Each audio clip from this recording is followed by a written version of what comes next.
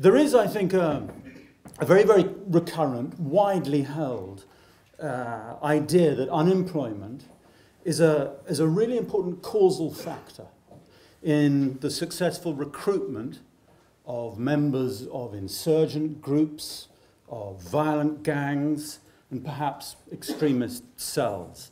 It's, it has almost the force of common sense, this idea. It's what you might call, what we might call a, a rhetorical commonplace.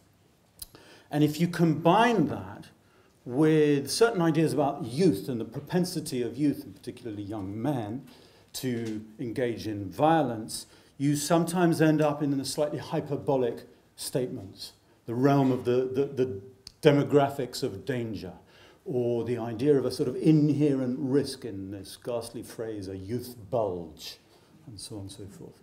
That's the common sense version of the statement, but there's a formal kind of economic reasoning underpinning that idea. So it may be deeper than common sense.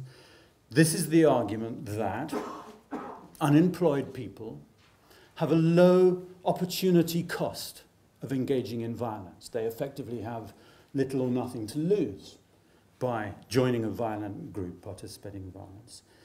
Even more strongly, they perhaps have a comparative advantage in violence. And from that perspective, where there's high unemployment, there will necessarily be very, very low recruitment costs. It's very, very easy to recruit people for a rebellion or an extremist cell or so on and so forth because they have that low opportunity cost of violence. The same argument reappears in some of the literature on transitions from war to peace. So, for example, we know it's quite common for societies that come out of violent conflict, sadly, to return to warfare, to armed conflict, within a few years. Sometimes you'll see a very falsely precise statement of the percentage of countries that return to war. Don't believe those. But, but it's a serious issue nonetheless. It matters. We just don't know very much yet about why. However, one of the arguments for why comes back to unemployment. And this is the argument that the single most important influencing factor on civil war recidivism is the rate of growth of the economy. And it is then said, added to that, this, as one person puts it, probably operates through the employment mechanism. That means we don't know, but probably. Okay, it's a hunch. Um, we do know that in societies like Sierra Leone, Burundi, there's been episodes of post-war elections where uh, some parties have recruited quite easily ex-fighters, former combatants, to harass and intimidate opponent, opponents and so on and so forth. So there's, a, there's something going on, and there's a powerful set of ideas, but it's not really clear yet how much we really know about this, what evidence there is underpinning this. Now, in one sense, I think this attention is a really, really good thing, given the fact that for decades, development economics and policy has, if you like, neglected employment issues and labour markets and labour, labour relations. It's what the late Alice Amsden called jobs dementia in development economics. Gary Fields argues that understanding of labour markets and employment issues now is sort of where we were with poverty about 25, 30 years ago. So it's, it's a really good thing if there's more and more of a focus on employment, in this case, in, and its linkages to violence. The difficulty is that the data and the analysis haven't caught up with the hunch, if you like. So what may look like common sense, I am arguing, is exceedingly simplistic and often plain wrong. So just to give, uh, right, just to give you a little hint of that, it's, it's the labour market data, specifically, let's say, for sub-Saharan Africa, are often very, very unreliable. And then if you go further and you say, we want to know something about youth unemployment, Youth unemployment statistics for Africa, bordering on the useless for any comparative or serious analytical work. So even if there is something going on, we're not in a position really to, to get a grip on it at that level, which is very, very frustrating.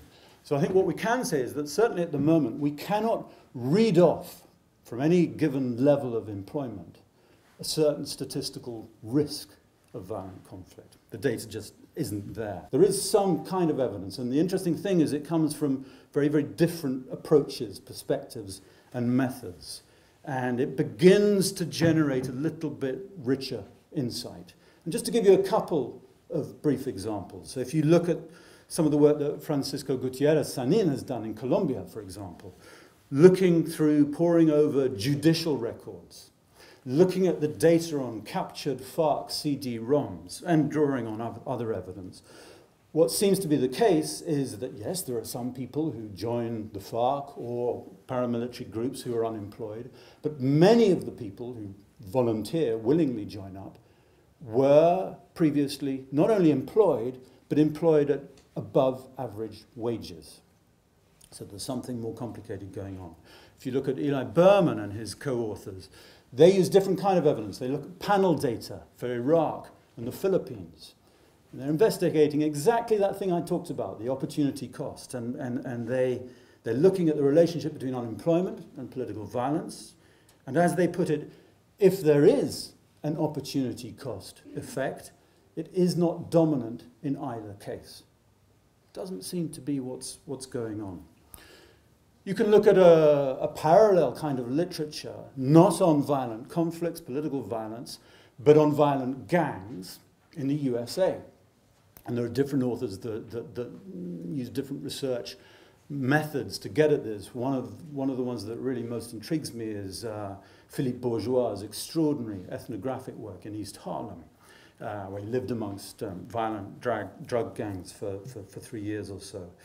And um, I think what's important in his work is it helps you understand how it's not really employment or unemployment, but structural changes in the labor force combined with issues of identity, racial identity, and in a context where many poor people in East Harlem experience daily forms of institutionalized violence from the police and so on and so forth, those are the things that matter rather than specifically employment status. And in a way, that, that echoes what Francisco Gutierrez uh, writes about in, in, in Colombia. There's a bit of a literature on post-war interventions and employment schemes, the extent to which DDR programs may or may not be effective in generating employment and in reducing uh, political violence, the effectiveness of donor-backed employment schemes that are supposed to underpin peace building, the literature, the research evidence thus far on those things, I think it's fair to say is, is underwhelming, inconclusive, and very, very mixed. There's no powerful story emerging. Again, it's, it's very frustrating. So we're, in a way, I think, still very much in the early days of trying to get to grips with, with these issues. Where I think I'd end up uh, is saying that, that, that we might be able to conclude with a, a couple of things. Firstly, where unemployment does matter, and I'm quite convinced in some context it does, it's only very much in combination with other factors, usually political factors, and also very localized agendas.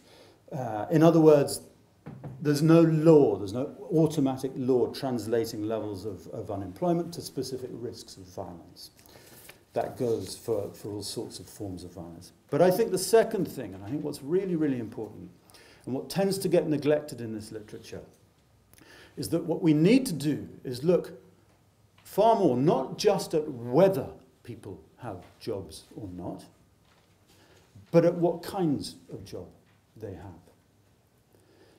That's the bit that's been neglected thus far. And I think that's very, very important in the context especially where the ILO, for example, claims that work claims more victims around the world than does war, and that where workplace violence is becoming an alarming phenomenon around the world. And you put that, the conditions of labour, in the world in which we live, within the specific political context in many places, I think that can be equally explosive as unemployment itself. So, uh, in short, employment and unemployment are both important. The causal relationships are varied and complex, and we don't know enough about them yet. There we go.